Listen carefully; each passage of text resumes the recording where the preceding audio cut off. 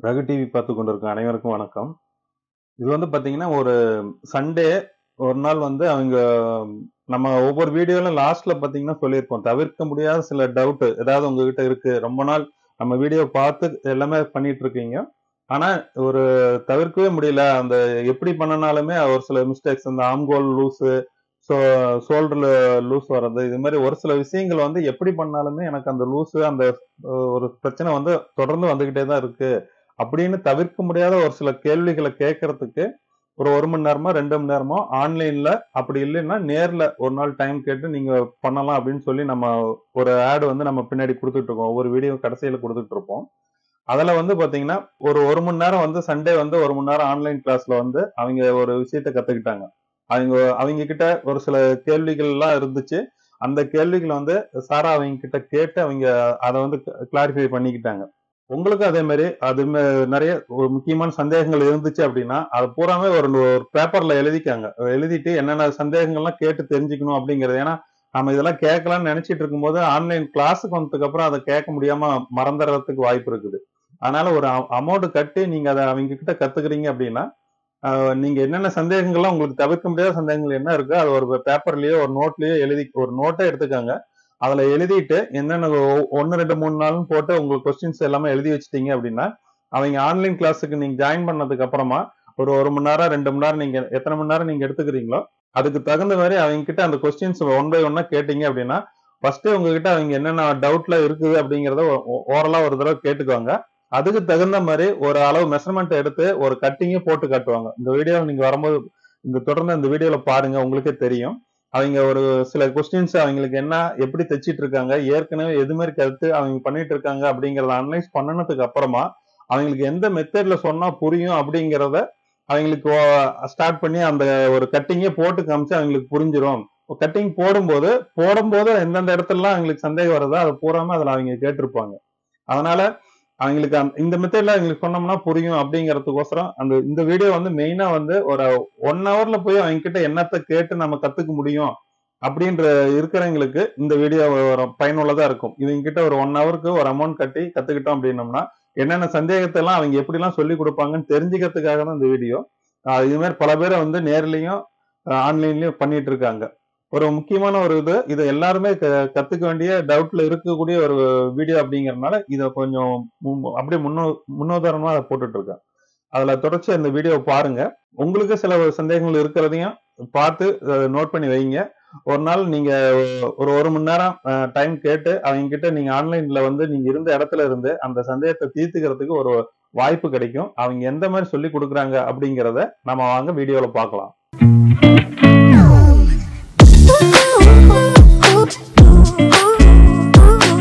Blouse வந்து நான் கொஞ்சம் பேருக்கு தைச்சு கொடுத்தேன்னா அதுல ஒன்றும் ப்ராப்ளம் வர மாட்டேங்குது. கரெக்டா இருக்குன்னு சொல்லிடுறாங்க. கொஞ்சம் பேருக்கு வந்து டாட் கொஞ்சம் தள்ளி போயிடுச்சு.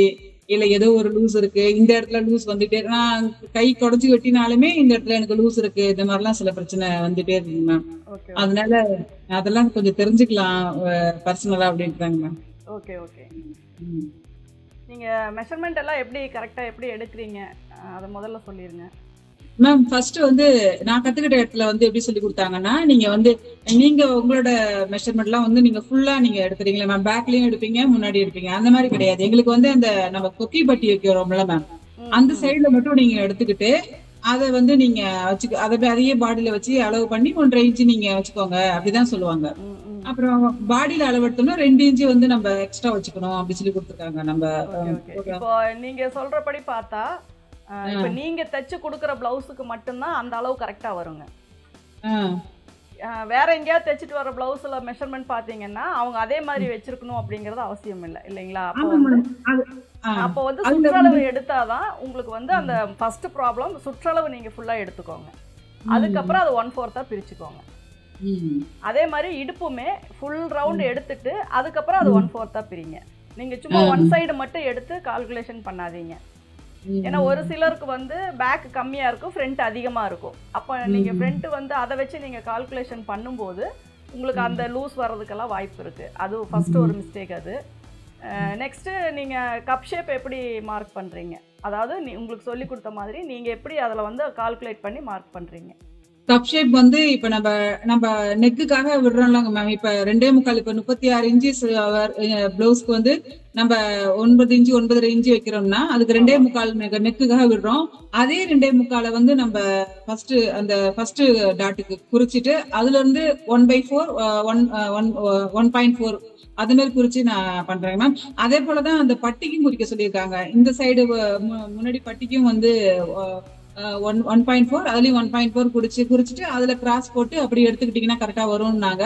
ஆனா அதே மாதிரி பண்றதுல கொஞ்சம் பேருக்கு கரெக்டா வந்துச்சு. எனக்குமே சில ப்ளவுஸ் கரெக்டா வந்துரும். சிலதுல எனக்குமே கொஞ்சம் பிரச்சனை வரும் என்னோட வீடியோஸ் நீங்க பாத்திருக்கீங்கல்ல அப்ப அதுல வந்து நான் ஃப்ரண்ட் கட் பண்றது உங்களுக்கு ஓரளவுக்கு அதுல அது தெரியுதா? இல்ல அது உங்களுக்கு எனக்கு தெரியுதுங்க மேம் ஆனா உங்க நீ கட் பண்றதுல வந்து எனக்கு பட்டி நீங்க எடுத்த உடனே இந்த பேக் கட்டு போட்டு ஒரு மூணு இன்ச் அப்படின்னு சொல்லிட்டு வச்சிடுறீங்களா? வச்சிடுறீங்க. அதுக்கப்புறம் இதுல இருந்து கிராஸா பண்றீங்க. அதுல வந்து எனக்கு கொஞ்சம் டவுட் வரும். எப்படி இது பண்றதுன்னு தெரியல. நீங்க அப்ராக்ஸா வச்சு நீங்க பண்ணிடுறீங்க. ஆனா அதை பார்க்கவே அழகா இவ்வளவு கரெக்டா வர போல எனக்கு தோணும். இது கரெக்டா இருக்கும் போல அப்படின்னு. சரி அப்ப நான் ஒரு பிளவுஸ் நான் வந்து கட் பண்ணும்போது அதனோட இது எப்படின்னு நான் உங்களுக்கு சொல்றேன். சரிங்க அப்போ வந்து அதை நீங்க பாத்துக்கோங்க இல்ல உங்க மெத்தட் ஃபாலோ பண்ற மாதிரி இருந்தா அதுல என்ன டவுட் அப்படிங்கறத மட்டும் எனக்கு கிளியரா கேட்டுக்கோங்க. இல்ல நான் வந்து இதை கட்டிங் போட்டு காட்டுட்டுங்களா? நீங்க நீங்க கட்டிங் போட்டு காட்டுங்க மேம் ஆனா நீங்க வந்து இப்ப பேக் கட்ல இருந்து ஒரு த்ரீ இன்ச்சஸ் சொல்லிட்டு நீங்க குறிச்சிடுறீங்களா அது அது எப்படிங்க மேம் அது எல்லாத்துக்குமே அது மாதிரி பண்ணிட்டா கரெக்டா வந்துருங்களா நிறைய வீடியோஸ்ல வந்து நான் சொல்லியிருப்பேன். அவங்க கப் ஷேப் பொறுத்து நீங்க அந்த அளவு வச்சுக்கோங்கன்னு சொல்லியிருக்கேன். கப் ஷேப் பெருசா இருந்தா ரெண்டரை கூட வச்சுக்கலாம். இன்னொரு ஒரு சிலருக்கு வந்து நான் ரெண்டு இன்ச்சு கூட நான் வச்சிருக்கேன். அது என்னன்னா சைடுல வந்து அந்த கப் ஷேப் பார்க்கும்போதே தெரியும். ஒரு சிலருக்கு வந்து பாடிக்குள்ள கரெக்டா கப் ஷேப் ஃபிட் ஆகும். ஒரு சிலருக்கு பாடியை விட்டு அவுட்டர்ல கப் ஷேப் வரும்.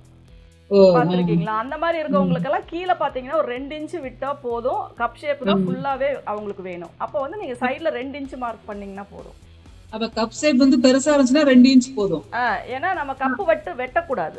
இந்த சைடுல. போடும்போது கப் ஷேப் வந்து. அவங்களுக்கு அதுல வெட்டக்கூடாது. கீழே தான் அந்த யோக் வரணும். அப்ப அதுக்கு. தகுந்த மாதிரி நம்ம ரெண்டு இன்ச்சு ரெண்டரை இன்ச்சு இப்ப பேக் லென்த் அதிகமா இருக்கும்போது நம்ம நாலு இன்ச்சு கூட சைடுல பட்டி வைப்போம் கிட்டத்தட்ட பதினாறு பதினேழு இன்ச்சு இறக்கம் வைக்கிறாங்க அப்படின்னா அந்த சைடுல. வந்து நம்ம நாலு இன்ச்சு கூட வைக்கலாம்.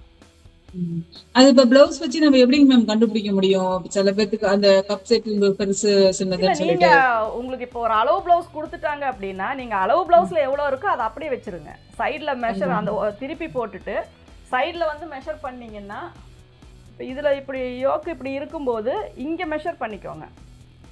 இந்த இடம் இருக்கு இல்லைங்களா? ஆமாங்க மேம் இங்க இங்க நம்ம இப்படி உள்பக்கமா வச்சு இங்க மெஷர் பண்ணக்கூடாது.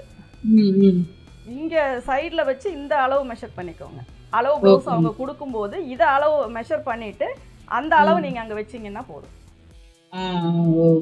இப்போ இந்த அளவை நீங்க வச்சுட்டு அதுக்கப்புறம் நான் சொல்ற மாதிரி ஒன்றரை இன்ச்சு நீங்க எக்ஸ்ட்ரா விட்டு அதுக்கப்புறம் கட் பண்ணீங்கன்னா போதும். ஏன்னா இந்த இடம் பாத்தீங்கன்னா நமக்கு சைடில் மெயினாக வந்து நார்மலாக கப் ஷேப் இருக்கவங்களுக்கு இது கரெக்டாக இருக்கும். ஒரு சிலருக்கு. இது வந்து இங்கே வரைக்குமே இது வரும். சும்மா சின்ன. யோக்கு தான் வரும். அப்போ இங்கே மெஷர் பண்ணிக்கோங்க. இதில். ரெண்டு இன்ச்சு வருது அப்படின்னா நீங்கள் அதில் ரெண்டு இன்ச்சு மார்க் பண்ணிக்கோங்க. அவங்களோட சில பேர் பிளவுஸே வந்து தப்பா நம்மள்ட்ட கொடுத்துருக்காங்க. அவங்களுக்கு பட்டி ரொம்ப சின்னதா இருக்கு. ஆனா நம்ம வேற ஒரு பிளவுஸ் அதே அளவுல நம்ம இந்த மாதிரி எல்லாம் தச்சிருப்போம். நம்ம அது மாதிரி பண்ணிக்கலாங்க மேம் நம்மளே அதாவது. அவங்க கிட்ட மெயின் அவங்களுடைய கப் ஷேப்பை மட்டும் நீங்க கவனிச்சுக்கிட்டீங்கன்னா போதும். நம்ம ஸ்டைல்ல நம்ம எப்படி வேணாலும் தைச்சு கொடுத்துக்கலாம். ஒரு சிலர் வந்து எனக்கு அளவு பிளவுஸ்ல இருக்கிறது டிட்டோ வேணும்னு கேட்பாங்க. ஏன்னா அவங்களுக்கு இந்த கப் ஷேப்பு இந்த ஃப்ரண்ட் ஓப்பன் இதெல்லாமே அப்படிதான் வேணும் அப்படிங்கிற மாதிரி கேட்பாங்க. அப்போ அவங்களுக்கு வந்து நீங்க அளவு பிளவுஸ்ல அந்த சைடு அளவு எவ்வளோ இருக்கு ஃப்ரண்ட் அளவு எவ்வளோ இருக்கு அது எல்லாமே நீங்க மெஷர் பண்ணி நீங்க வச்சுக்கலாம். அப்படி இல்லாம சரிங்க. நீங்க பாடி மெஷர்மெண்ட் எடுப்பீங்க இல்லையா? அப்போ வந்து. நம்ம தானே வைக்க போறோம். அப்போ வந்து இந்த. மாதிரி நீங்க வந்து அவங்க கப் ஷேப் இப்ப சைடு அவங்களுக்கு கப் ஷேப் ரொம்ப இறக்கமா இருந்துச்சு அப்படின்னா நீங்க ரெண்டரை ரெண்டு அப்படி கூட வச்சுக்கலாம். நார்மலா நம்ம மூணு வச்சாவே அது எல்லாருக்குமே கரெக்டா தான் இருக்கும். ம், சரிங்க மேக்ஸிமம் மூணு வச்சிங்கனாவே போதும். சரிங்க. அதே போல இந்த டாட் இந்த டாட்டுக்கு மெஷர்மெண்ட் ஃபர்ஸ்ட் நம்ம இந்த இந்த ஹூக் பட்டியில இந்த பட் இந்த கொக்கி வைக்கிற பட்டியில இருந்து எப்படிங்க மேம் மெஷர் பண்றீங்க? அதை சொல்லுங்க மேம் இது சொல்றீங்களா? ஆமாங்க மேம் அந்த அந்த இடம். இந்த இடம். அதுல இருந்து பட்டிக்கு அந்த அந்த அளவு. இந்த இந்த உயரம் வந்து ஒவ்வொருத்தருக்கும் எப்படி வைக்கிறீங்க அப்படின்னு சொல்லி கேக்குறீங்க. அதுவும் கேக்குறாங்க மேம் அடுத்து நீங்க அந்த டாட் இருக்கு பாருங்க மேம் அடியில. ஆமா அந்த டாட்டுக்கு அந்த கேப் அந்த அந்த பட்டியில இருந்து அந்த கேப் அந்த அந்த அளவு எப்படி நம்ம மெஷர் பண்றதுங்க மேம் இது வந்து மேக்ஸிமம் வந்துட்டு உடம்புனுடைய சைஸ் பொறுத்து தான் வருங்க. இப்போ நார்மலா. ஒரு முப்பது சைஸ்க்குள்ள இருக்கவங்களுக்கு முப்பது முப்பத்தி ரெண்டு சைஸ்க்குள்ள இருக்கவங்களுக்கு நம்ம ரெண்டரை வச்சா போதும். அதுக்கு மேல ஒரு முப்ப முப்பத்தஞ்சு முப்பத்தி ஆறு அந்த மாதிரி வரவங்களுக்கெல்லாம் ரெண்டே முக்கால் அப்படி வச்சுக்கலாங்க. சரிங்க ஒரு நாற்பது சைஸ் வருது அவங்களுக்கு பாடி அப்படின்னாவே மூணு இன்ச்சு வச்சுக்கலாங்க. ஆனா இது ஒரு வீடியோல நீங்க சொல்லிருக்கீங்க மேம். அதுக்கு அது அதை அப்படியே நம்ம ஃபாலோ பண்ணிக்கலாங்க மேம். அதை அப்படியே ஃபாலோ இப்போ லாஸ்ட்டாக போடுற வீடியோஸ்ல எல்லாம் கூட அதுதான் வரும். மேக்ஸிமம் இதை பற்றி தான் நான் சொல்லியிருப்பேன்.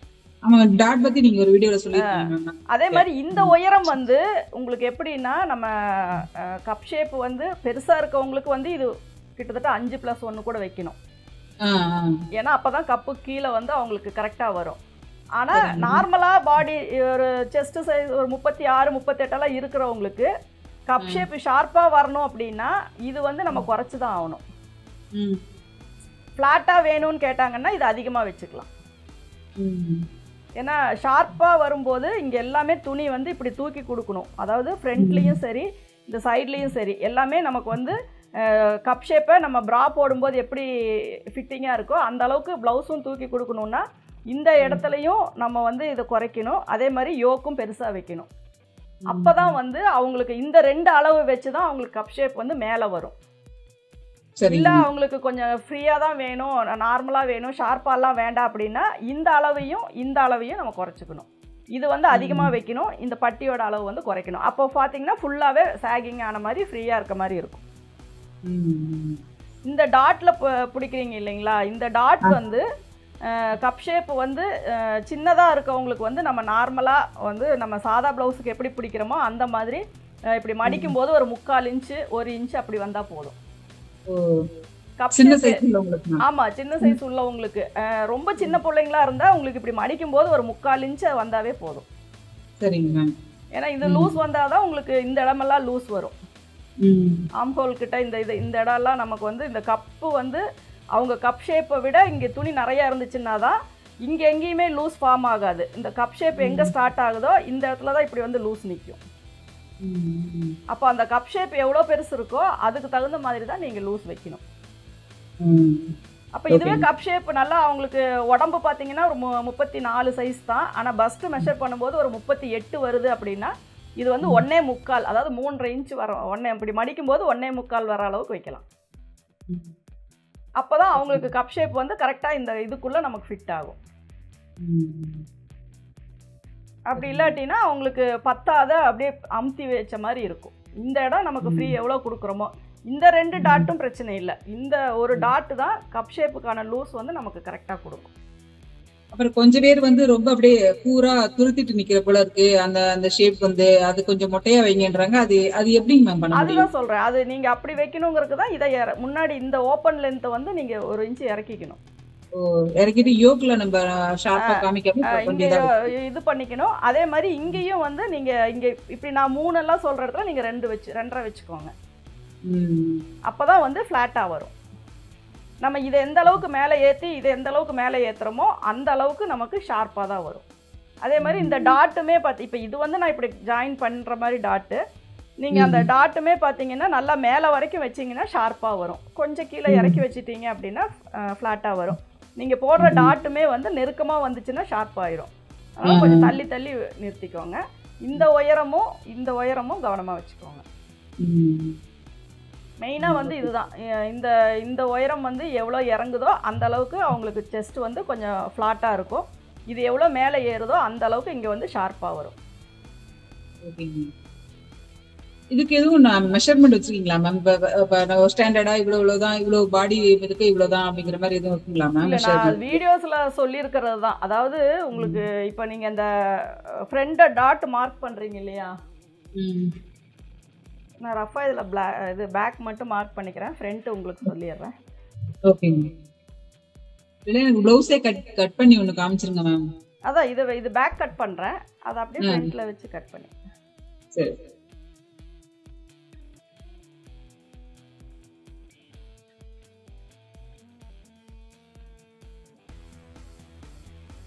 அதே போல இந்த நெக்கு அந்த ஷோல்டர் மெஷர்மெண்ட் அதெல்லாம் எப்படிங்க மேம் நம்ம கண்டுபிடிக்கிறது? இவ்வளவு பாடி இதுக்கு இவ்வளவு வச்சுக்கிட்டா போதும்ன்ற மாதிரி நம்ம ஸ்டாண்டர்ட் எப்படிங்க மேம் கண்டுபிடிக்கிறது?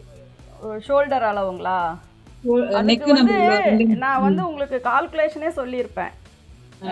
அதாவது மார்பு சுற்றளவு வந்து நீங்க எழுதிக்கோங்க அத. சொல்லுங்க மேம் மார்பு சுற்றளவு கீழே இது பை போட்டு எட்டு போட்டுக்கோங்க. அப்போ அதுல அப்ப அதுல வர்றத வந்து பிளஸ் ஒரு இன்ச்சு சேர்த்துனா நம்ம ஷோல்டர் அளவு. அது நீங்க வீடியோல சொன்னதுதாங்க மேம் ஆமா. அதே மாதிரி ஒன்றரை இன்ச்சு சேர்த்து ஆம் ஹோல் உயரம். இது வீடியோல ரெகுலரா நான் எல்லாருக்குமே அது ஃபார்முலா மாதிரியே நான் சொல்லியிருப்பேங்க. ஆமா மேம் அது வந்துகிட்டு இருக்கு மேம் அதுல வந்து அரை இன்ச் வந்து ஆம்கோல்ல சேர்க்க சொல்லுவீங்க அந்த ஷோல்டர் அதான் ஒரு இன்ச்சு சேர்த்தனா ஷோல்டர் ஒன்றரை இன்ச்சு சேர்த்தனா ஆம் ஹோல் அதுல என்ன வருதோ அதோட இன்னொரு அரை அது வச்சுக்கலாம். ஆனா ஆம் ஹோலை பொறுத்த வரைக்கும் ஒரு சிலருக்கு ஆம் ஹோல் அதிகமா கூட வரும். ஒரு சிலருக்கு அதை விட குறைவா கூட வரும். அப்ப இந்த லைனை வந்து நீங்க ஒரு கால் இன்ச் மேலேயோ கீழேயோ நீங்க அட்ஜஸ்ட் பண்ணிக்கலாம். அவங்க ஆம் ஹோல் ரவுண்ட் வர மாதிரி. சரிங்க இப்போ இப்போ நான் அந்த அளவு தான் நான் வச்சிருக்கேன். இப்போ இதுக்கு பார்த்தீங்கன்னா ஷோல்டர் அளவு அஞ்சரை வச்சிருக்கேன். இல்லை ஆறு வச்சிருக்கேன்.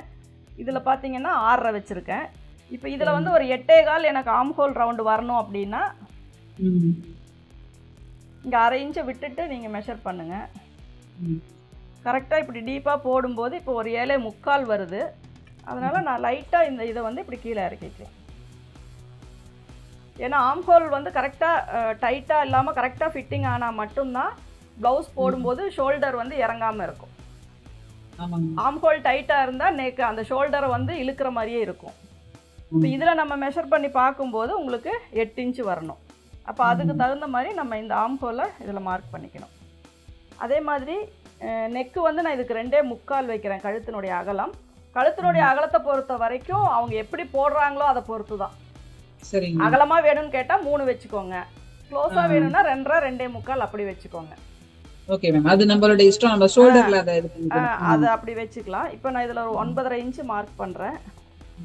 இப்போ நல்லா இது வைடாக நான் ரவுண்ட் போடணுன்னா கொஞ்சம் இங்கே மூணுனா கீழே மூன்றரை வர மாதிரி நான் கிராஸ் பண்ணி இதில் ரவுண்ட் போட்டுக்குவேன். இப்போ நான் இங்கே மெஷர் பண்ணும்போது. எனக்கு இங்கே தான் வந்து ஒன் பை ஃபோர்த் செஸ்ட் வரணும் இப்போ பத்து இன்ச்சு அப்படின்னா எனக்கு இங்கேருந்து மெஷர் பண்ணும்போது தான் பத்து இன்ச்சு வரணும் சரிங்க மேம் ஏன்னா இங்கே இங்கே இங்கேருந்து பத்து இன்ச்சு வந்துச்சுன்னா இந்த இடம் லூஸ் வரும். அதனால் இந்த நெக்கில் இருந்து நான் மெஷர் பண்ணும்போது இங்கே வைக்கும்போது தான் எனக்கு பத்து இன்ச்சு வரணும். ஓகேங்க. இங்கே பத்து இன்ச்சு வரணும். அதே மாதிரி எட்டே கால் அப்படிங்கிற அந்த ஆம் ஹோலுடைய அளவு இங்கே வரணும். ஒரே இடத்துல வந்துடணும். அது வந்து வித்தியாசம் வரக்கூடாது. அப்போ அதை வந்து நம்ம மேட்ச் பண்ணி கட் பண்ணோம்னா கரெக்டாக வரும்.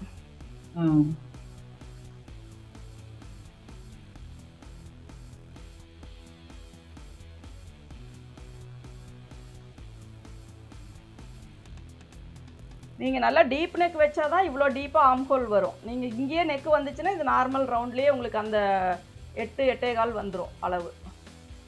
இது டீப்பாக போகிறனால இது நல்லா டீப்பாக வெட் எட்டே கால் வரணும் அப்படிங்கறனால இப்படி டீப்பாக வெட்டுறோம். நார்மலாக நீங்கள் க்ளோஸ் நெக்காக ஒரு ஏழு ஏழரை இன்ச்சு வைக்கும்போது நீங்கள் இதில் மார்க் பண்ணும்போது இதில் வந்து எட்டே கால் வந்து கொஞ்சம் இப்படி மேலே தான் வரும்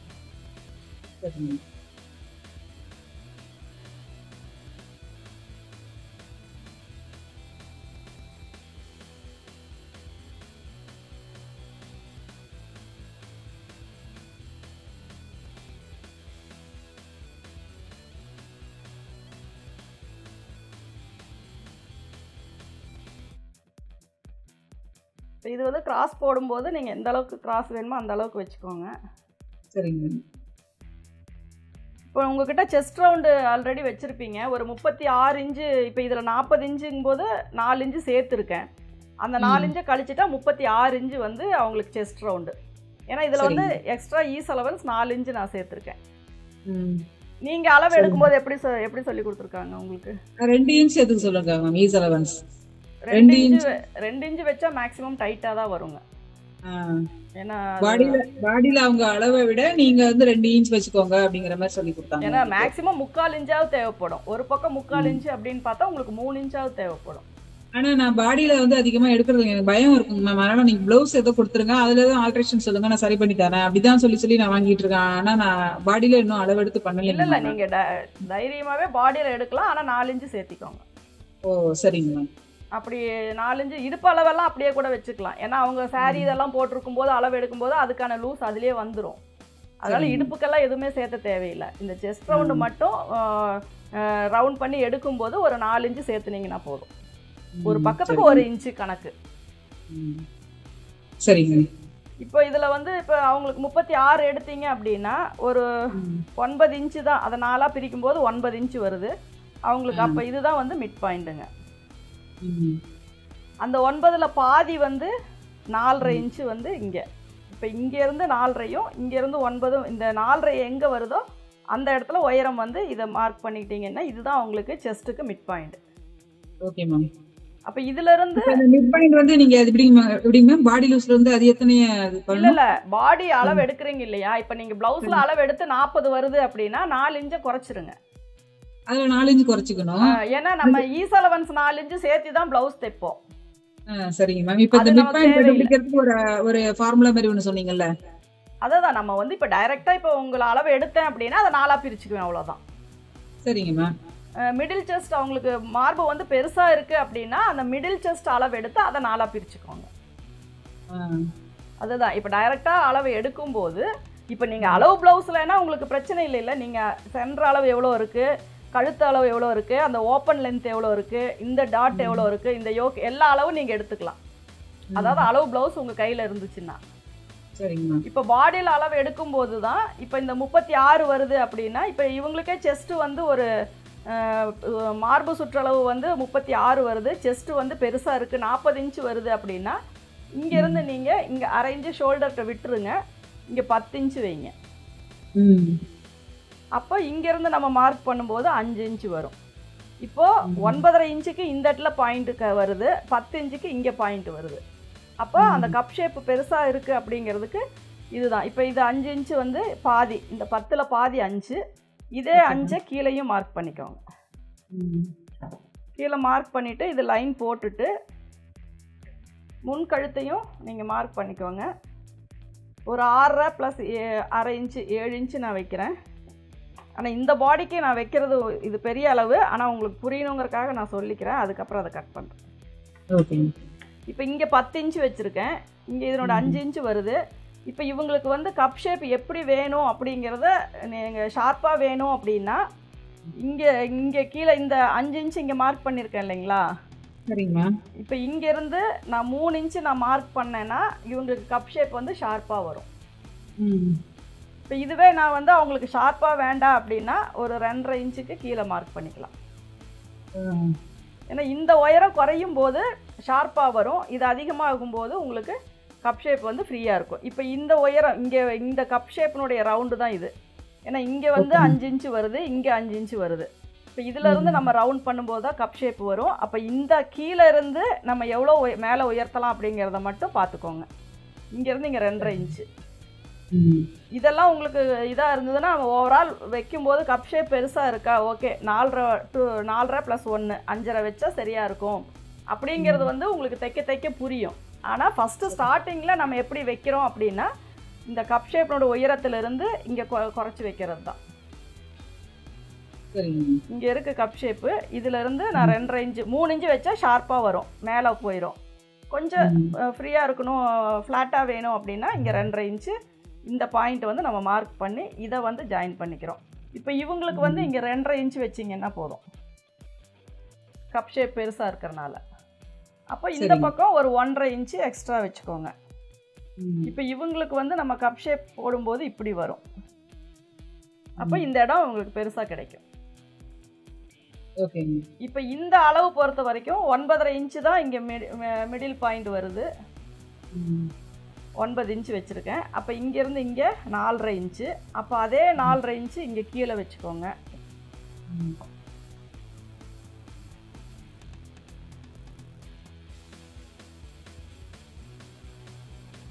இப்போ இந்த நாலரையிலேருந்து நீங்கள் ரெண்டரை வச்சீங்க அப்படின்னா நார்மலாக இருக்கும். கொஞ்சம் சாகிங்காக வேணும்னா ரெண்டு வச்சுக்கோங்க. சரிங்க. அப்போ வந்து நம்ம இப்போ இதில் வந்து நான் இங்கேருந்து மா இதில் ஜாயின் பண்ணிக்கலாம். சைடில் நீங்கள் இது ரெண்டரையே இருந்தாலும் ஓகே தான் மூணு வச்சாலும் ஓகே தான். இல்ல இந்த பட்டிக்கு. ஓ ஆ ஓகேங்க இது மூணு வைக்கணும்னாலும் நான் மேலே வரும் ஷார்ப்பாக இருக்கும். இப்போ ரெண்டரை வச்சா கொஞ்சம் ஃப்ரீயாக ஃப்ளாட்டாக இருக்கிற மாதிரி வருங்க. இப்போ கப் ஷேப் பெருசாக இருந்தால் இங்கே ஒன்றரை வைக்கலாம். இல்லாட்டினா ஒன்று ஒன்னே கால் வச்சிங்கன்னா போதும். சரிங்க. மேம் இந்த எக்ஸ்ட்ரா விடுறது. ஏன்னா இங்கே பிடிக்கிற டாட் அளவு தான் இங்கே. இங்கே ஒன். ஒரு ஒன்னே முக்கால் ஒன்றரை இன்ச்சு பிடிக்கிறீங்கன்னா ஒரு முக்கால் இன்ச்சு இங்கே அதிகம் வரும். இப்போ இங்கே வந்து மூணு இன்ச்சு பிடிக்கிறீங்க அப்படின்னா ஒரு ஒன்றரை இன்ச்சு வரும். இந்த கப் ஷேப் எப்படி பிடிக்கிறோமோ அதுக்கு தகுந்த மாதிரி தான். ஆனால் இது நீங்கள் அதிகமாக வச்சுட்டாலுமே கடைசியாக நம்ம இங்கே வெ இந்த அளவும் அந்த அளவும் மேட்ச் பண்ணும்போது இதில் எக்ஸ்ட்ரா வரதை நம்ம வெட்டிடலாம். மேம் இப்போ நீங்கள் அப்ராக்சிமேட்டாக நான் ஒன்றரை வைக்கிறேங்களா அதுக்கப்புறம் அதை எப்படி கரெக்ட் பண்ணுறதுன்னு பார்த்துக்கலாம் அதே மாதிரி இங்கே வந்து சைடில் ஒரு அரை இன்ச்சும் மேலே வந்து ஒரு கால் இன்ச்சும் மார்க் பண்ணுறேன் இந்த அரை இன்ச்சு வந்து ஒரு சில நேரத்தில் நம்ம இந்த ஆம்ஹோல் வந்து இப்படி மெஷர் பண்ணும்போது இப்படி உள்ளே தள்ளி வரும். அப்போ. நமக்கு செஸ்ட் ரவுண்ட் வந்து ஒன் ஃபோர்த்து முன்னாடி எவ்வளோ எடுத்தோமோ அந்த நாற்பது இன்ச் அப்படியே கரெக்டாக வரணும். அதனால் அந்த நாற்பது இன்ச் எங்கே வருதோ அங்கே தான் நம்ம மார்க் போடணும். ஃப்ரண்ட்லயும். ஃப்ரண்ட்லயும் பேக் வந்து நம்ம டீப்பாக வெட்டும்போது இது மாறும். முன்னாடியும் வரலாம் கீழே இறங்கியும் வரலாம். ஆனால் சரி. முன்பக்க ஒன் ஃபோர்த் வந்து கரெக்டாக பத்து இன்ச்சுனா பத்து இன்ச்சு வரணும் அதனால் ஒரு அரை இன்ச்சு தள்ளிக்கிட்டிங்கன்னா அதுக்கப்புறம் நீங்கள் அட்ஜஸ்ட் பண்ணும்போது அது ஈஸியாக இருக்கும். சரிங்க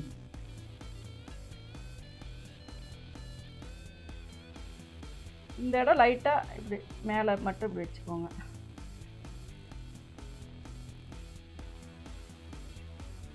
இது ஃப்ரண்ட் நெக்கினோட உயரம்.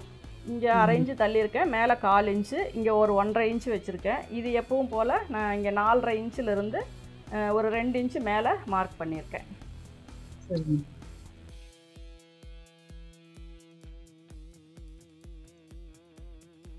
அதே போல பிளவுஸ் வந்து நம்ம தச்சு முடிச்ச பிறகு பேக் தட்டை விட ஃப்ரண்ட் வந்து கொஞ்சம் கம்மியா தான் இருக்கணும் அதுக்கு தகுந்த மாதிரி நீங்க ஃப்ரண்ட் ஃப்ரண்ட் தட்டை வந்து இழுத்து வச்சு தச்சுக்கணும் அப்படின்னு சொல்றாங்க அது அப்படி அதெல்லாம்? அப்படியெல்லாம் எதுவும் பண்ண தேவையில்லைங்க நமக்கு அளவு வந்து கரெக்டாக வரணும் அவ்வளோதான் ம். நம்ம வந்து ஒன் ஃபோர்த் வைக்கும்போது மேக்ஸிமம் எல்லாமே ஒரே மாதிரி தான் வருங்க. பிளவுஸ் வந்து நீங்க கரெக்டா போட்டு பார்க்கக்குள்ள நடுவுல கேப் வந்து ரெண்டு இன்ச்சுக்கு தெரியணும். அப்பதான் அது கரெக்டா இருக்கும்ன்ற மாதிரி சொல்லி அதெல்லாம் வந்து அவங்க அளவு எப்படி வைக்கிறாங்களோ அதுதான். மத்தபடி இப்ப இது மாதிரி தைக்கும் போது உங்களுக்கு கரெக்டா கொஞ்சம் கேப் வரும். ஏன்னா நம்ம அதை கிராஸ். கட் பண்ணும்போது கொஞ்சமா கேப் வரும். அது ஒண்ணும் அது ஆனா அது அப்படிலாம் இருக்கணும்ன்றதெல்லாம் எதுவும் இல்லைங்களா அதெல்லாம் அப்படியெல்லாம் ஒண்ணும் இல்லைங்க. சரிங்க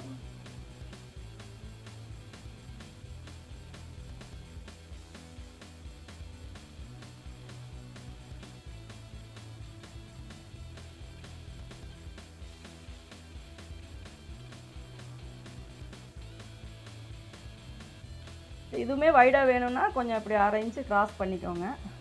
சரிங்க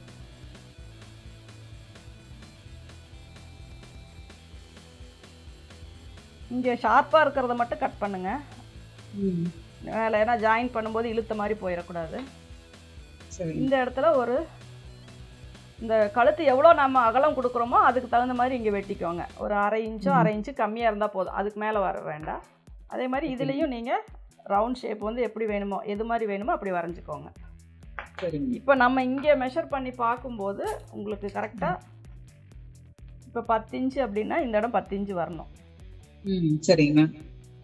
அப்போ அந்த இடத்துல ஒரு ஒரு பாயிண்ட் எல்லாம் கம்மியாக இருந்தால் பிரச்சனை இல்லை. ஏன்னா ஒரு சிலருக்கு இந்த கழுத்து மேலே இருந்ததுன்னு வச்சுக்கோங்களேன். இந்த ஆம்கோலை விட கழுத்து மேலே இருந்துச்சுன்னா பத்து இன்ச்சு ஓகே கழுத்து இந்த ஆம்கோலை விட கீழே இருந்துச்சுன்னா கொஞ்சம் டைட்டாக பிடிச்சாதான் நல்லா இருக்கும்னா அந்த எவ்வளோ ஒரு பாயிண்ட் கொஞ்சம் கம்மியாக வந்தாலும் பிரச்சனை இல்லை. சரிங்க மேம். ஆனால் நீங்கள் மேக்ஸிமம் இங்கே வருது பத்து வருதான்னு செக் பண்ணிக்கோங்க. இங்கே வெட்டினதுக்கு அப்புறமும் இங்கே பத்து வருதான்னு செக் பண்ணிக்கோங்க. ஓகேங்க ஒன் ஃபோர்த் எவ்வளவோ அது வருதான்னு பார்த்துக்கோங்க. அதுக்கப்புறம் இதை நம்ம வந்து ஆனா எனக்கு டாட்டுக்கு மட்டும் இன்னும் ஏதாவது ஈஸியா இருந்தா சொல்லி கொடுத்துருங்க மேம். எனக்கு நீங்க சொல்றது புரியுதுங்க மேம் இருந்தாலும் எனக்கு ரொம்ப ஈஸியா இன்னும் ஏதாவது இருந்துச்சுன்னா சொல்லி கொடுங்க மேம் ரொம்ப ஈஸியாங்களா ஒரு நிமிஷம். இப்போ இது வந்து நமக்கு மிடில் பா இப்போ அளவு ப்ளவுஸ் நீங்கள் வைக்கிறனால உங்களுக்கு அந்த டாட்னோட அளவெல்லாம் நீங்கள் அதுலேயே இப்படி அளந்திருப்பீங்க இல்லைங்களா? அளவு ப்ளவுஸில் இந்த கேப் எவ்வளோ வருதோ அதை அப்படியே வச்சிருவீங்க. அப்போ அது வந்து உங்களுக்கு ஈஸியாக தானே இருக்கும். நீங்கள் அளவு எடுத்து தைக்கும் போது தான் இதெல்லாம் நீங்கள் பார்க்கணும். இப்போ அளவு ஈஸியா எப்படி கண்- ஆ, இப்போ இது ஒன்பது இன்ச்சு வருது அப்படின்னா. இது நாலரை இன்ச்சு வருது. ஆட்டோமேட்டிக்காக இதுவும் நமக்கு நாலரை இன்ச்சு வரும். இங்கே வந்து நம்ம மார்க் பண்ணியிருக்கோம். இப்போ இதை சுற்றி தான் நம்ம டாட் பிடிக்க போகிறோம் சரிங்க அப்போ வந்து உங்களுக்கு இதில் மிஸ் ஆக இதை இது இதை பேஸ் பண்ணி நீங்கள் டாட் பிடிக்கும்போது உங்களுக்கு இது மிஸ் ஆகவே வாய்ப்பு இருக்காது. ஏன்னா தள்ளியும் போகாது முன்னாடியும் வராது. சரிங்க அந்த மிட் பாயிண்ட்டை சுற்றி நம்ம டாட் பிடிக்கிறோம். இப்ப வந்து நீங்க டென் வச்சா ஃபைவ் நீங்க இப்ப நாலரை வச்சோம்ல மேம் இப்ப நம்ம அந்த அந்த டிஸ்டன்ஸ். அது வந்து மாறுபடுமா மேம் எல்லாத்துக்கும்? இல்ல அது ஒரே ஸ்டாண்டர்டா இல்ல இல்ல வரும் நான் டென் வச்சது வந்து பெரிய கப் ஷேப்புக்கு சொல்லி பெரிய சைஸ் சொன்னீங்க. இதுக்கு வந்து நான் ஒன்பது இன்ச் வச்சேன். ஒன்பதுல பாதி நாலரை வச்சிருக்கேன். அது இப்ப எல்லா சைஸ்க்குமே வச்சுக்கலாங்க மேம் இது மாதிரியே. இது மாதிரியே வைக்கலாம் நான் என்ன சொல்றேன்னா அவங்க செஸ்ட் ரவுண்டுல வந்து நாலா பிரிச்சுக்கோங்கன்னு சொல்றேன். சரி ஓகே ஏன்னா இப்ப இது வந்து நாற்பது இன்ச்சு வரும்போது நான் நாலு இன்ச்சு சேர்த்துருக்கேன் இல்லையா? அது சேர்த்துலன்னா எனக்கு செஸ்ட் ரவுண்ட் முப்பத்தி ஆறு தானே கணக்கு. அதை தான் நான் நாலா பிரிச்சிருக்கேன். இப்போ. உங்களுடைய மார்பு சுற்றளவு என்ன அப்படின்னு சொல் உங்க உங்க செஸ்ட் ரவுண்ட் எவ்வளவு வருதுங்க? என்னோடது வந்து ஒன்பதரை வருங்க மேம் ஜஸ்ட் அதாவது டேப் வச்சு அளவு எடுத்தா எவ்வளவு வரும்?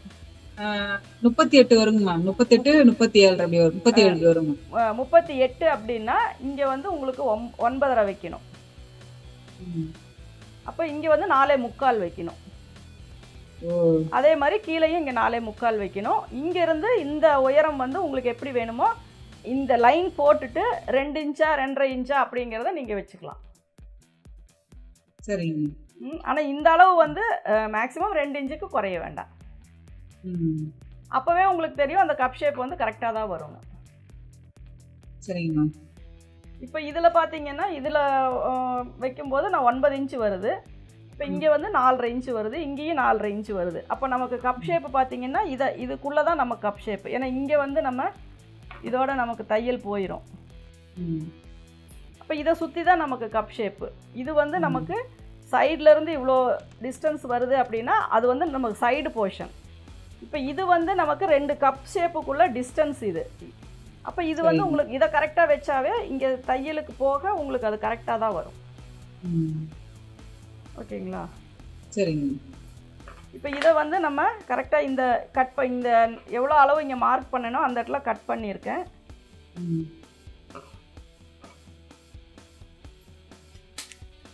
இப்போ இந்த அளவுக்கெல்லாம் நம்ம இங்கே ரெண்டே முக்கால் வச்சுக்கலாங்க.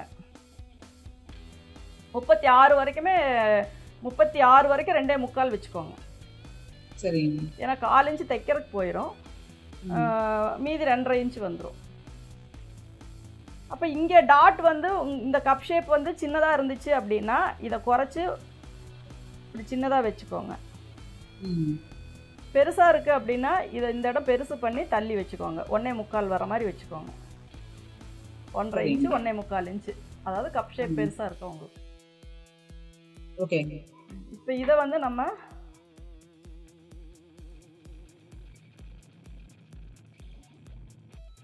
அந்த எந்த இடத்துல மார்க் போட்டிருக்கோமோ அந்த இடத்துல நாச் போட்டுக்கிட்டிங்கன்னா இந்த கீழ் வந்து இந்த இந்த டாட் வந்து இந்த கப் ஷேப்ல இருந்து ஒரு ஒன் இன்ச்சுக்கு கீழே இந்த இந்த இடத்துல நீடியில் மார்க் போட்டுக்கோங்க.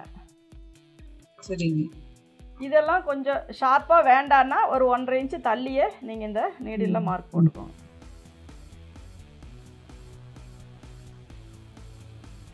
அப்போ இதுக்கு நேராக நீங்கள் நாச் போட்டு டக் பிடிச்சிக்கலாம். சரிங்க.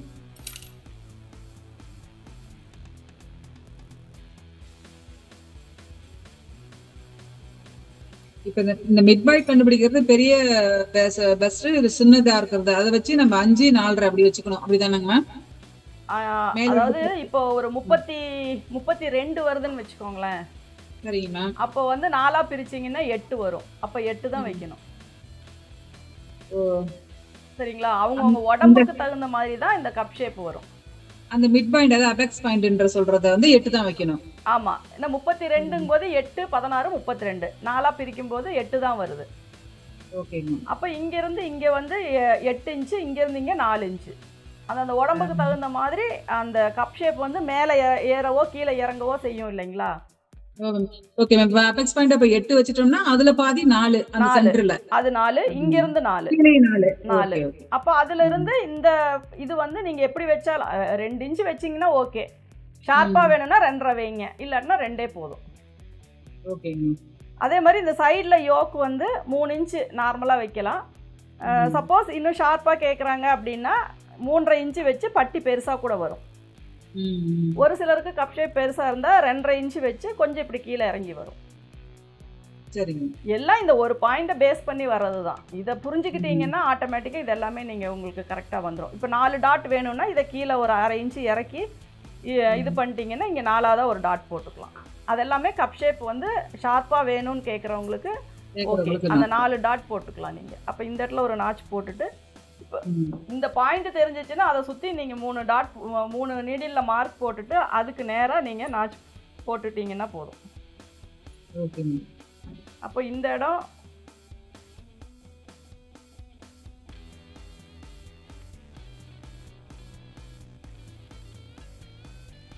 இந்த இடம் இந்த ஷேப் வரும்.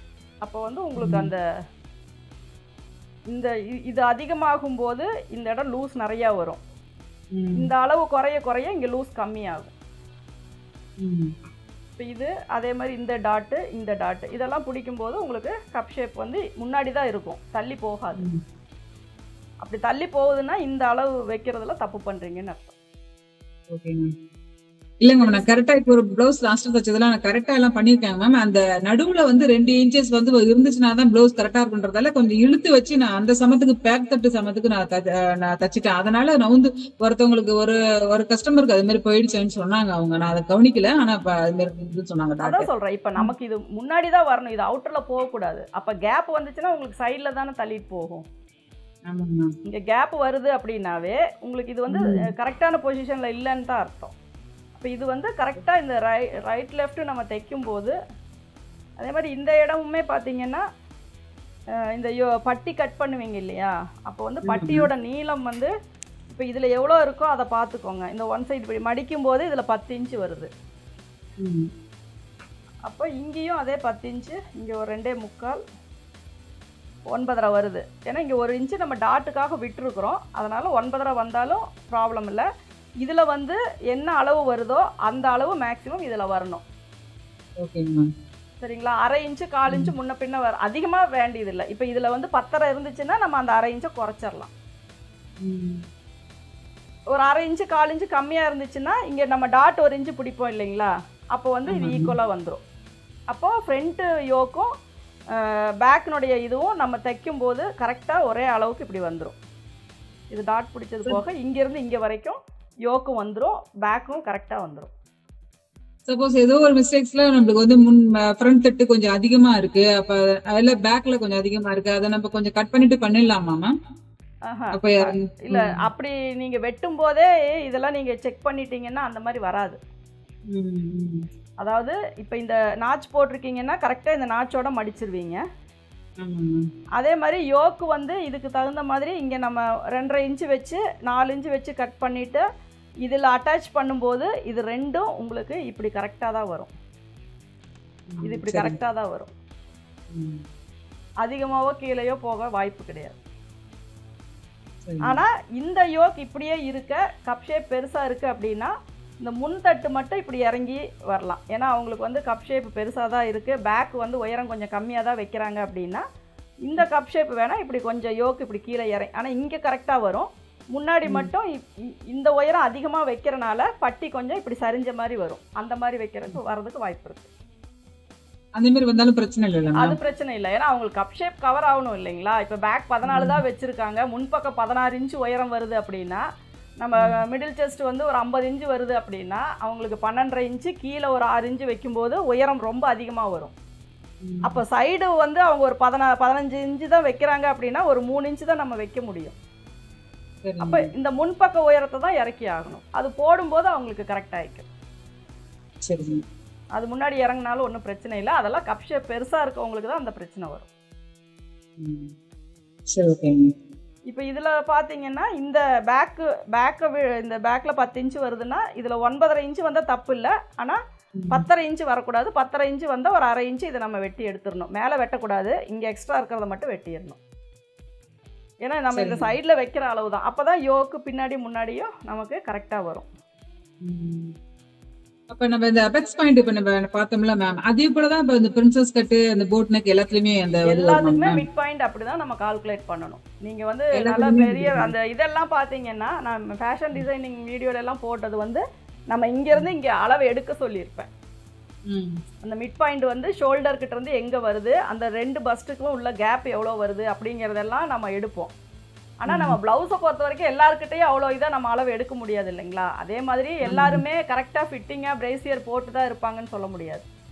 அவங்க நார்மலாக ஒரு இது ப்ளவுஸ் போட்டிருந்தாங்கன்னா நம்ம பார்த்து தான் அதை வந்து கால்குலேட் பண்ண முடியும். இப்போ இது பார்த்தீங்கன்னா இந்த ஒரு இந்த இடம் வந்து நமக்கு இந்த சைடு வந்து இப்படி வந்துடும் இந்த டாட் பிடிக்கும்போது. இது ரெண்டும் கரெக்டாக வந்துடும் அதே மாதிரி இந்த சைடும் இந்த டாட் பிடிக்கும்போது இப்படி கரெக்டாக வந்துடும் உங்களுக்கு சின்னதாக ஒரு கேப் மட்டும்தான் வரும். இங்கே ரொம்ப தள்ளி வருது அப்படின்னா இந்த சைடில் துணி விடாமல் தை கட் பண்ணுறாங்க பார்த்தீங்களா நம்ம இப்படி கிராஸ் பண்ணி துணி விடுறோம் இல்லைங்களா? அந்த மாதிரி ஒரு சிலர் விட மாட்டாங்க. இந்த பேக்கு ஃப்ரண்ட் எல்லாம் ஒரே மாதிரி வெட்டுவாங்க.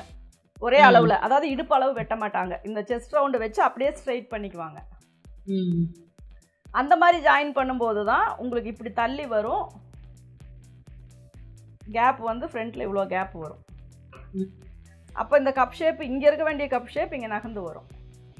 ஆமாங்க மேம் அதனால நம்ம வந்து அந்த இது நம்ம எதுவும் பா பார்த்து இது பண்ணுறதில்ல மேக்ஸிமம் நம்ம போடுற கட்டிங்கில் உங்களுக்கு ஃப்ரண்ட்டு பேக் எல்லாமே கரெக்டாக அந்த அந்த இடத்துல வைக்கும்போது இந்த ஷேப் வந்து உங்களுக்கு கரெக்டாக வந்துடும் இந்த இடம் வந்து டீப்பாக வேணும்னா டீப்பாக வச்சுக்கலாம். இல்லை க்ளோஸாக வேணும்னா நீங்கள் எப்பவும் போல் ஸ்கொயர் போட்டு அதுக்குள்ளே போட்டுக்கலாம். ஆனால் இப்படி போட்டால் தான் உங்களுக்கு இந்த இடம் கொஞ்சம் வைடாக கிடைக்கும். சரிங்க. எல்லாத்துக்குமே நீங்கள் வந்து அதாவது நீங்கள் இப்போ அளவு எடுத்து தைக்கிற போது பிரச்சனை வராது. மேக்ஸிமம் இந்த அளவை மட்டும் நீங்கள் கரெக்டாக வச்சு உள்ளே அவங்க எவ்வளோ டாட் பிடிச்சிருக்காங்கன்னு பார்த்தீங்கன்னா போதும். இப்படி மடித்து வச்சிருக்கிறதுல நீங்கள் டேப் வச்சு அளவு எடுத்துக்கோங்க. அதிகம் உயரமான பகுதி அதாவது நீளமான பகுதியில் இப்படி வச்சு அளவு எடுத்தீங்கன்னா ஒரு முக்கால் இன்ச்சு வருது அப்படின்னா ஒன்றரை இன்ச்சு வரும். இந்த இது. நல்லா. பெருசாக வருது அப்படின்னா அதுக்கு தகுந்த மாதிரி நீங்களும் அதே மாதிரி இங்கே லூஸ் கொடுத்துக்கோங்க. இந்த உய இந்த நீளம் அதே மாதிரி தைக்கிறதுக்கு உள்ள காலிஞ்சு போயிருக்கும். இங்கே இருக்கிறத மெஷர் பண்ணி காலிஞ்சு நீங்கள் சேர்த்துக்கோங்க. சரிங்க. அப்படி வைக்கும்போது உங்களுக்கு இந்த மிட் பாயிண்ட் வந்து தப்பு வராது. ஆனால் நீங்கள் அளவு எடுக்கும்போது இந்த பாயிண்ட் வந்து நீங்கள் செஸ்ட் ரவுண்டு நாலாக பிரித்து உயரத்தை வந்து மார்க் பண்ணிக்கோங்க. அதை சுற்றி செஸ்ட் வரும்போது உங்களுக்கு தப்பு வராது. சரிங்க. ஓகேங்களா? அதே. மாதிரி இந்த செஸ்ட் வந்து கீழே இறங்கி இருக்கிறவங்களுக்கு நம்ம டீப் நெக் வச்சா ஒன்றும் ஆகாது. கப்பு வந்து மேலே இருக்கவங்களுக்கு ரொம்ப டீப்பாக வச்சீங்கன்னா இந்த இடம் ரொம்ப இழுத்து தான் பிடிக்கும். எப்படிங்க மேம் கப் ஷேப் பார்த்தீங்கன்னா ஒரு சிலருக்கு கீழே இறங்குன மாதிரி தான் அதாவது நம்ம இந்த ஆம்கோலுக்கு கீழே இருக்கும். ஒரு சிலருக்கு அந்த ஆம்கோலுக்கு மேலேயே கப் ஷேப் இருக்கும். இங்க இருந்தே அவங்களுக்கு ஸ்டார்ட் ஆகும். அந்த மாதிரி வரவங்களுக்கெல்லாம் செஸ்ட் வந்து நீங்க கரெக்டா பத்து இன்ச்சு அப்படின்னா அந்த பத்து இன்ச்சு அப்படியே இருக்கணும். இந்த முன்னாடி கட் பண்றத கூட ஒரு கால் இன்ச்சு கட் பண்ணீங்கன்னா போதும். ஏன்னா அவங்களுக்கு மேலேயே கப் ஷேப் இருக்கும்போது இழுத்து தான் போடுற மாதிரி வரும். சரிங்க மேம் சார் கீழே இறங்கி இருந்துச்சுன்னா நம்ம அதுல கிராஸ் பண்ணணும் கிராஸ் பண்ணும்போது ஒன்றும் பிரச்சனை இல்லை. கீழே இந்த இடத்துல கப்பு வரும்போது அது கரெக்ட் ஆயிரும். அதுவே மேலே கப்பு வரும்போது நம்ம ரொம்ப கிராஸ் பண்ணிட்டோம்னா இழுத்த மாதிரி ஆயிரும். ஆமா ஆமா மேலாக ஜஸ்ட் வந்து ஒரு மாதிரி இருப்பாங்கல்ல அந்த மாதிரி உள்ளவங்களுக்கு எடுக்க வேண்டாம். ஆமா அது வந்து ஒரு சும்மா ஒரு கால் இன்ச்சு வேணும்னா அது ரொம்ப சதைப்பிடிப்பா இருக்கிறவங்களுக்கு அந்த இது கூட எடுக்க தேவையில்லை. நமக்கு செஸ்ட் மட்டும் அந்த பத்து இன்ச்சு வருதான்னு மட்டும் பார்த்துக்கோங்க சரிங்க. அப்ப நம்ம சைடு ஜாயின் பண்ணுவோம்ல மேம் அந்த சைடு ஸ்ட்ரைட் தையல் போட்டு ஜாயின் பண்ணுவோம்ல அது அதுல கொஞ்சம் எனக்கு கிளியாரிட்டி பண்ணுங்க மேம் அது எப்படிங்க மேம் சைடு வந்து இப்போ இந்த அளவு வந்து இப்போ இதுவும் இதுவும் நம்ம இங்கே மேட்ச் பண்ணிடுறோம் இல்லைங்களா? இப்போ இதுலயும் ஒன்றரை இன்ச் இருக்கு பின்னாடியும் ஒன்றரை இன்ச் இருக்கு. இப்போ நீங்க ஸ்லீவ் கட் பண்ணி ஜாயின் பண்ணும்போது அதுலயும் இதே மாதிரி வரணும் ஒன்றரை இன்ச்சு ஸ்லீவ் கட் பண்ணும்போது ஒன்றரை இன்ச்சு அப்போ இந்த அளவே இந்த ஆம்ஹோல் ரவுண்டு வருது. இது வந்து இங்கே டாட் பிடிக்கும் போது இந்த உயரம் இது கரெக்டாக ஆயிக்கும். சரிங்க. அப்போ இந்த சுற்றளவு இப்போ இதில் எட்டே கால் வருது அப்படின்னா நீங்கள் ஸ்லீவ் கட் பண்ணும்போதும் கரெக்டாக அதே மாதிரி எட்டே கால் தான் வைக்கணும். அப்போ இதை வந்து பார்த்தீங்கன்னா இந்த நாச்சும் ஸ்லீவில் இருக்க நாச்சும் எல்லாம் நாலுமே கரெக்டாக ஜாயிண்ட் ஆகும். ஆனா அதுல வந்து கிராஸ் எல்லாம் வராது. அப்படியே கரெக்டா ஸ்ட்ரைட் தையல் மாதிரி தான் வரும். அப்பதான் அது கரெக்டா இருக்குமா மேம் இதுங்களா? இது வந்து ஒரு சிலருக்கு வந்து இப்படி பெண்ட் பண்ணி போடுற மாதிரி வரும். ஷார்ட் ஸ்லீவ்னா பிரச்சனை இல்லை. அப்படியே ஸ்ட்ரைட்டாக இப்படி வந்து மூணு தையல் வந்துடும் வரிசையாக கை லாங்கா இருக்கும்போது ஒரு சிலருக்கு இப்படி கொஞ்சம் பெண்ட் பண்ணி இப்படி ஸ்ட்ரைட்டா போடுற மாதிரி வரும். சரிங்க. ஆ, அங்கங்கேயும் அந்த அளவுபடி நம்ம நேரா புடிச்சிட்டோம்னா பிடிச்சாவே போதும். மேல கையினுடைய சுற்றளவு இந்த ரெண்டு பாயிண்ட் கீழே இடுப்பினுடைய சுற்றளவு. அதை வச்சு நீங்க என்னோட வீடியோஸ்ல பாருங்க. இந்த சைடு ஜாயின் பண்றதுன்னு போட்டு டைப் பண்ணீங்கன்னா வரும். ட்ரினிட்டின்னு போட்டுட்டு சைடு அப்படின்னு. போட்டிங்கன்னா வரும். அப்போ எப்படி இதை வந்து ஃபர்ஸ்ட் நான் வந்து ஒரு சின்னதா ஒரு நீடியில் மார்க் போட்டுட்டு அந்த இடத்துல ஒரு டேக் போட்டுருவேன். அதுக்கப்புறம் வெயிஸ்ட் ரவுண்ட் வந்து மெஷர் பண்ணி பார்த்துட்டு கரெக்டாக இருக்கா அப்படின்னு பார்த்ததுக்கு அப்புறம் தான் நான் அந்த மூணு தையல் போடுவேன். சரிங்க.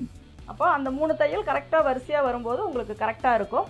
அதுவே ஒல்லியாக இருக்கிறவங்களுக்கு இந்த தையல் இந்த பட்டி வரைக்கும் இப்படி ஸ்ட்ரெயிட் வந்து இப்படி வரணும்.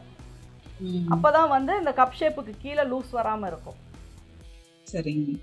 அதுவே கப் ஷேப் நல்லா பெருசாக உடம்பு இதாக இருக்கவங்களுக்கு நீங்கள் எப்பவும் போல் ஸ்ட்ரைட்டாக போட்டுக்கலாம். இந்த ஒரு தையல் மட்டும் ஒரு சிலருக்கு பஸ்ட்டுக்கு கீழே வந்து லைட்டாக லூஸ் வர மாதிரி இருக்கும். அவங்களுக்கு மட்டும் கொஞ்சம் இப்படி ஸ்ட்ரைட் பண்ணி போடுற மாதிரி வரும்.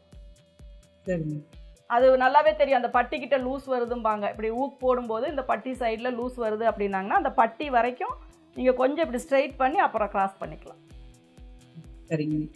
மேம் அப்புறம் அந்த ஷோல்டர் நெக் ஆம்கோல் மெஷர்மெண்ட் ஏதாவது நீங்க பிடிஎஃப் மாதிரி ஏதாவது வச்சிருக்கீங்களா மேம் இந்த டிப்ஸ் ஏதாவது? நீ இப்ப சொல்றீங்கல்ல சப்போஸ் மறந்துடுறோம் நம்ம எடுத்து பாத்துக்கலாம் அதுக்கு அது மாதிரி. பார்க்குறேங்க அது ஏன்னா நான் எல்லாமே வீடியோஸாக தான் நான் போட்டுட்ருக்கேன். எல்லாமே அது வந்து எப்படி ஒரே கால்குலேஷன் தான். செஸ்ட் ரவுண்டு வந்து எட்டாக பிரித்து ஒரு இன்ச்சு சேர்த்திக்கோங்க அது வந்து ஷோல்டர் அளவு. அதுவே ஒன்றரை இன்ச்சு சேர்த்துனீங்க அப்படின்னா ஆம்ஹோலினுடைய உயரம் அந்த ஆம்ஹோல் உயரத்துக்குள்ளே உங்கள் ஆம்ஹோல் ரவுண்டு வந்து ஒன் பை டூ கரெக்டாக செட் ஆகுதான்னு பாருங்கள் இல்லாட்டினா அதுக்கு தகுந்த மாதிரி அந்த உயரத்தை அட்ஜஸ்ட் பண்ணிக்கோங்க. அவ்வளோதான். மற்றபடி இந்த டாட் பார்த்தீங்கன்னா ஒன் ஃபோர்த்து செஸ்ட்டு தான். அதாவது நாலில் ஒரு பங்கு. ஏதாவது நம்ம இங்கே எப்படி வைக்கிறோமோ அதே தான் இங்கே வைக்கிறோம். ஆனால் இதில் நாலு இன்ச்சு நம்ம சேர்த்தாம வைக்கணும். அவ்வளோதான். பாடியில் எடுக்கிற அளவை நம்ம கால்குலேஷன் பண்ணுறோம் அதே தான். ஷோல்டருக்குமே பாடியில் எடுக்கிற அளவு தான் நீங்கள் கால்குலேஷன் பண்ணணும் ப்ளவுஸில் எடுக்கிற அளவு கால்குலேஷன் பண்ணக்கூடாது. ஓகேங்க.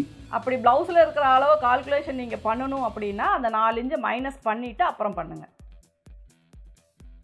ஓகேங்க இப்ப பிளவுஸ் வந்து கையில எல்லாம் எனக்கு ஒன்றும் டவுட் இல்ல மேம் அது நீங்க நிறைய வீடியோஸ் போட்டிருக்கீங்க அதை நான் பாத்திருக்கேன் ஓகே அடுத்து வந்து அடுத்து வந்து இந்த போட் நெக் பெர்சன்ஸ் கட்லயும் இதே போல தான் அந்த அபெக்ஸ் பாயிண்ட் போயிட்டு நம்ம அதே எல்லாமே போல அதேதான். எல்லாத்துக்குமே. கப் ஷேப் அப்படிங்கிறது அந்த ஒரே இடம்தான். அதனால அதை சுத்தி நம்ம டைட் கொடுத்து தைக்கணுங்கிறதுக்காக தான் இந்த பாயிண்ட் இப்போ இதுவே நம்ம போட் நெக் அப்படிங்கும்போது இது பிரின்சஸ் கட் அப்படிங்கும்போது இதுல இருந்து இப்படி ஸ்ட்ரைட் பண்ணிட்டு இதுல இருந்து தான் இப்படி பிரிச்சு வெட்டுவோம்.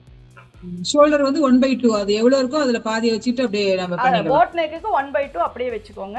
இந்த ஷோல்டர் சைடுல இருந்து ரெண்டே முக்கால் வச்சுக்கோங்க. கழுத்தினுடைய அகலம் வந்து. நாலோ அஞ்சோ எப்படி வந்தாலும் அது பிரச்சனை இல்லை. இங்க ஷோல்டர் பக்கம் இருந்து ரெண்டே முக்கால் வச்சுக்கோங்க. ஏன்னா அப்பதான் வந்து உங்களுக்கு நெக்கு வந்து வைடா வரும்.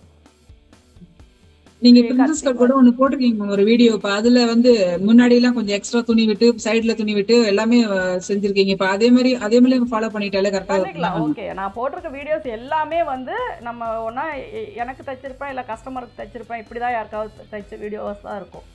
அதனால் அது எல்லாமே வந்து க கரெக்டாக எல்லாரும் யூஸ் பண்ணுற மெத்தடு தான். அது அதனால் நீங்கள் அதில் இருக்கிறத அப்படியே ஃபாலோ பண்ணிக்கோங்க. சரிங்க மேம் அது இந்த மெஷர்மெண்ட் ஏதோ ஏதோ பிடிஎஃப் மாதிரி இருந்தா கொஞ்சம் எனக்கு வேணுங்க மேம் அப்புறம் சுடிதார்ல வந்து நம்ம டாட் பிடிப்போம்ல அந்த சென்டர் டாட் அந்த நடு பேக்ல அந்த டாட் வந்து அது எந்த மெஷர்மெண்ட்ல மேம் பண்ணுவோம்? அது வந்து இந்த வெயிஸ்ட் ரவுண்ட் வருது இல்லைங்களா? ஆமாங்க மேம் அதாவது நம்ம இங்கே செஸ்ட் ரவுண்டு வந்துடும் அடுத்தது வெயிஸ்ட் ரவுண்ட் எடுக்கிறோம் இல்லையா? இந்த ஷேப் இப்படி கொடுக்கும்போது. இதில் வந்து பாதி. அப்போ இதில். வந்து இதில் வந்து இது மிட் பாயிண்ட்னா இங்கே வரும். இதில். வந்து ஒரு எட்டு இன்ச்சு ஏழு இன்ச்சு ஆளுனுடைய. ஹைட்டுக்கு தகுந்த மாதிரி. சின்ன பிள்ளைங்களா இருந்தால் ஏழு இன்ச்சு போதும். இது வந்து சென்ட்ரு இங்கே மூன்றரை இங்கே மூன்றரை. இல்லைன்னா இங்கே நாலு இங்கே நாலு. இந்த ரெண்டுக்கும் நடுவில் வர்றது தான் மிட் பாயிண்ட் இப்ப இதுல வந்து நம்ம இந்த அபெக்ஸ் பாயிண்ட் கண்டுபிடிக்கிற மாதிரி போல கண்டுபிடிச்சு அது வரைக்கும் இந்த டாட் கொண்டு விடணுன்றதெல்லாம் எதுவும் இல்ல. நம்ம மூணு நம்ம பேக் டாட் மட்டும் தானே பிடிக்கிறோம். ஃப்ரண்ட்டில் டாட். பிடிக்கிறது இல்லை அதனால சுடிதாருக்கு வந்து இதனுடைய மிடில் பாயிண்ட் வச்சு நீங்கள் எட்டு இன்ச்சுக்கு டாட் பிடிச்சிங்கன்னா போதும். ஃப்ரண்ட் டாட் கேக்குறவங்களுக்கு மேம் இப்படி ஃப்ரண்ட் டாட் கேட்குறவங்களுக்கும் இதே ப்ரொசீஜர் தான். அப்போ வந்து என்ன ஆகும்னா நம்ம அந்த ஃப்ரெண்டட் டாட் கேட்கும்போது இப்போ இந்த சைடு எந்த இடத்துல ஷேப் வருதோ அந்த உயரம் வந்து நம்ம ஒரு பதினாலரை இன்ச்சு பதினஞ்சு இன்ச்சு அப்படின்னு நம்ம எடுப்போம் இல்லைங்களா? அந்த இடத்துல இருந்து ரொம்ப லென்த்தாக பிடிக்காம கொஞ்சம் ஷார்ட் பண்ணிக்கோங்க. ஒரு ஆறு இன்ச்சு ஒரு ஆறு. இன்ச்சுக்கு பிடிச்சிக்கலாம். ஆறு இன்ச்சு ஆறரை இன்ச்சு ஏழு இன்ச்சுக்குள்ளே பிடிச்சிக்கலாம். கேட்டாங்கன்னா முன்னாடி. அது பிடிக்கும் போது என்ன பண்ணணும்னா அப்படியே ஷார்ப்பாக பிடிக்கணும். ரொம்ப இப்படி வந்து சடனாக இப்படி இப்படி இப்படி இப்படி கொண்டு வந்து இப்படி ஷார்ப்பாக நிற்கணும் இப்படி கொண்டு வந்து இப்படி வளைச்சிடக்கூடாது. அப்போ வந்து என்ன ஆகும்னா இந்த இடத்துல துணி வந்து சுருக்கமாக இருக்கும். போடும்போது அந்த இடத்துல தூக்கிட்டு இருக்கும். நம்ம எப்போ டாட் பிடிச்சாலும் அந்த இடத்துல டாட் இருக்கிறதே தெரியக்கூடாது. அந்த மாதிரி தான் பிடிக்கணும். சரிங்க. சரிங்க மேம் ஓரளவுக்கு எனக்கு டவுட் கிளியர் மேம் உங்க வீடியோஸ்ல நான் அதே மாதிரி கைக்குமே பாத்தீங்கன்னா இந்த அடிக்கை அளவு மேக்ஸிமம் இதுல எவ்வளவு வருதோ அந்த அளவு வச்சுக்கோங்க. அடிக்கை அளவு அது ஆமாங்க இந்த மூன்றரை இன்ச் நீங்க சொல்லுவீங்கல்ல கையில. மேக்ஸிமம் நான். மூன்றரை இன்ச் வச்சு தான் நிறைய வீடியோஸ் போட்டிருப்பேன். அதெல்லாமே ஒரே மாதிரி அளவு வரவங்களுக்கு தான் இருக்கும். சப்போஸ் ஒரு பெரிய அளவா எடுத்துட்டீங்க. ஒரு ஐம்பது இன்ச் வருது அவங்களுக்கு இப்போ இங்கே ஏழு இன்ச் வச்சிட்டீங்க அப்படின்னா மீதி இங்கே எவ்வளோ வருதோ அதுதான். அதாவது இந்த பாக்ஸ் போடுறீங்க இல்லையா? இந்த அளவு எவ்வளோ வருதோ அந்த அளவு வச்சு அடிக்கை வச்சு கட் பண்ணிக்கோங்க. அது சொல்லிருக்கீங்க மேம். அது ஆமாம் அந்த அளவு வச்சிட்டிங்கன்னா மேக்ஸிமம் இப்படி ஷோல்டர் இழுக்காது. அதுவே ஆம் ஹோல் டைட் பண்ணிட்டீங்கன்னா இப்படி கொஞ்சம் இழுக்க ஆரம்பிக்கும். அதனால் இந்த ஆம் ஹோல் ரவுண்டு ஃப்ரீயாக இருக்கணும் போடும்போது. அப்போ தான் நம்ம இப்படி இப்படி இப்படி இழுக்காமல் கரெக்டாக இருக்கிற மாதிரி இருக்கும். சரிங்க மேம். அதனால் இது இந்த அளவு கரெக்ட் பண்ணிக்கோங்க டாட் கரெக்ட் பண்ணிவிட்டு டாட்டுக்கு எவ்வளோ பெரிய கப் ஷேப்போ அதுக்கு தகுந்த மாதிரி லூஸ் கொடுத்துட்டீங்கன்னா உங்களுக்கு நீங்கள் போடுற ப்ளவு தைக்கிற ப்ளவுஸு ஃபிட்டிங்காக தான் வரும் கப் ஷேப் லூஸ் கொடுத்துட்டீங்கன்னா அதே மாதிரி நீங்கள் சொல்கிற மாதிரி இங்கே மேலே இந்த பக்கமெல்லாம் சுருக்கம் வரும் ஃபார்ம் ஆகும் அதே மாதிரி. பிரைசியர் போட்டு போடுறவங்களுக்கு கப் ஷேப் கொஞ்சம் நம்ம டைட் பண்ணியே தைக்கலாம். பிரைசர் இல்லாமல் போடுறவங்களுக்கு கொஞ்சம் லூஸ் கொடுத்து தான் தைக்கணும். அப்போ தான் அவங்க இல்லைன்னா ரொம்ப டைட்டாக இருக்குது அப்படின்னு நினைப்பாங்க. ஏன்னா பிரைசியர் போட்டு போடுற ப்ளவுஸு வந்து பிரைசியர் போடாமல் போட்டால் என்னமோ ரொம்ப டைட்டாக இருக்க மாதிரி இருக்கும். அந்த ப்ளவுஸையே நம்ம பிரைசியர் போட்டு போட்டால் நமக்கு லூஸாக இருக்கும். ஏன்னா அந்த பிரைசியர் வந்து நமக்கு கப் ஷேப்பு உடம்பெல்லாம் இறுக்கி பிடிக்கும். அதுக்கு மேலே தான் நம்ம ப்ளவுஸ் போடுவோம். அப்போ அந்த ப்ளவுஸ் ஒரே ப்ளவுஸ் தான் பிரைசியர் போட்டு போட்டால் ஒரு மாதிரி இருக்கும் போடாமல் போட்டால் ஒரு மாதிரி இருக்கும். அவங்க அதையே நம்மக்கிட்ட வந்து கம்ப்ளைண்ட்டாக சொல்லுவாங்க. ஏன்னா நம்ம வந்து மேக்ஸிமம் நம்ம கேட்குற கேஸ் இதுவே வந்து பிரைசியர் போட்டு போடுவீங்களா போடாமல் போடுவீங்களான்னு தான். ஏன்னா ரெகுலராக போடுறவங்களுக்கு கொஞ்சம் டைட் பண்ணி தைக்கலாம். போடா அஹ், போடாம தான் போடுவேன் எனக்கு செஸ்ட் பெயின் வருது அப்படின்னா கொஞ்சம் லூஸ் கொடுத்து தைக்கலாம். இந்த சைடு ஜாயின் பண்ணும்போதெல்லாம். சரிங்க ஏன்னா ஒருத்தர் வந்து உங்களுக்கு கஸ்டமர் வந்து உங்ககிட்ட கம்ப்ளைண்ட் பண்ணும்போது தான் அதை எப்படி கரெக்ட் பண்ணணும் அப்படிங்கிறது உங்களுக்கு ஒரு ஐடியா வரும். எனக்கு பத்து ஜாக்கெட் நான் தச்சு கொடுத்துருக்கேன். எந்த ப்ராப்ளமும் இல்ல. ஆறாவது ஒருத்தர் மட்டும் குறை சொல்லிட்டாங்கன்னா உடனே ஒரு டவுன் ஆயிடுதுங்க மேம் எனக்கு. ஐயோ நம்ம எதுவும் கரெக்டா பண்ணலையோ நம்ம அதெல்லாம் ஒண்ணுமே பிரச்சனை இல்லைங்க. ஏன்னா சொல்லதான் செய்வாங்க. ஏன்னா எல்லாரோட உடம்பு ஒரே மாதிரி எல்லாம் இருக்காதுங்க. ஒரு சிலருக்கு செஸ்ட்டு பார்த்தீங்கன்னா ரைட் சைடு ஒரு சைஸ் வரும் லெஃப்ட் சைடு ஒரு சைஸ் வரும். கை பார்த்தீங்கன்னா அஹ், வலது கை பெருசாக இருக்கும் இடது கை சின்னதாக இருக்கும். ஒரு சிலருக்கு வலது கை இடது கை பெருசாக இருக்கும் வலது கை சின்னதாக இருக்கும். அந்த மாதிரி உடம்பு அப்படிங்கும்போது ரைட் லெஃப்ட் ரெண்டு பக்கமும் ஒரே மாதிரி தான் இருக்கணுங்கிறதெல்லாம் கிடையாதுங்க அதனால ஒரு சின்ன சின்ன மிஸ்டேக் வரதான் செய்யும். அது வந்தாங்கன்னா நம்ம அதை கரெக்ட் பண்ணி கொடுக்கணும் அவ்வளோதான் ஆனால் நம்ம கட்டிங்கில் பெருசாக மிஸ்டேக் பண்ணக்கூடாது. தையல்ல அதை கரெக்ட் பண்ணுற மாதிரி நீங்கள் பார்த்துக்கணும். சரிங்க மேம் ஏன்னா பேசிக்காக கரெக்டான முறையில் நீங்கள் கல் கட்டிங் போட்டுட்டீங்க அப்படின்னா உங்களுக்கே ஒரு கான்ஃபிடென்ட் வந்துடும் அந்த கட்டிங்கை பார்க்கும்போதே. அப்போ நீங்கள் ஸ்டிச் பண்ணி கொடுத்தா ஒன்றா இந்த ஸ்லீவ் கிட்ட லூஸ் வரும். அப்போ வந்து பெண்ட் பண்ணி தையல் போட்டுக்கலாம். ஒரு சிலருக்கு இந்த ஆம்ஹோல் கொஞ்சம் இதாச்சுன்னா அதையும் டைட் பண்ணி தையல் போட்டுக்கலாம். இந்த இடுப்புக்கிட்ட லூஸ் வருது அப்படின்னா இங்கே மட்டும் கொஞ்சம் டைட் பண்ணி கொடுக்கலாம். அதெல்லாம் நம்ம தைக்கிற ஒரு மூணு தையல்லையே கரெக்டாக வரும்னு சொல்ல முடியாது.